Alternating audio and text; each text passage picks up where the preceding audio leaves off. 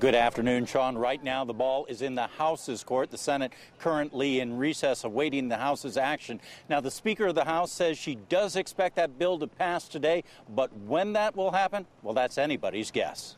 For the purpose of enacting legislation to ensure that the state's budget remains balanced for the fiscal year 2010 2011 biennium. With that, the House got down to business. Sort of. First came a debate about the rules that the special session will follow.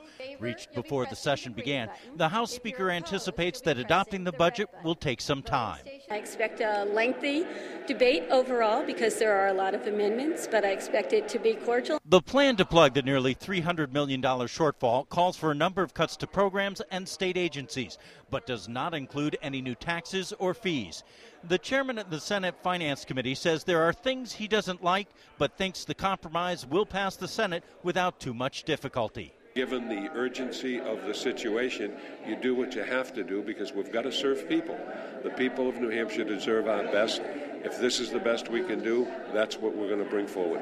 When the plan finally comes up for a vote, it is also expected to pass in the House. The Democrats hold a commanding majority, and the Speaker expects them to fall in line. I think it's balanced. I think it's as good a budget uh, reduction, budget shortfall fix as we could possibly expect in these particularly challenging times, and I expect the Democrats to support it.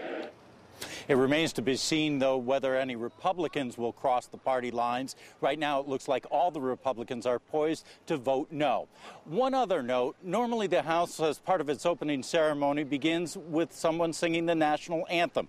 Today, the Speaker said no one was scheduled to sing the anthem, so they'd have to do without it. With that, some members of the House broke in, spontaneously broke into the national anthem.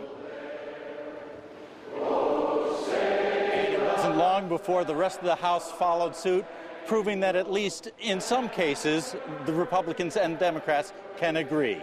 Reporting live from the State House in Concord, Ray Brewer, WMUR News 9.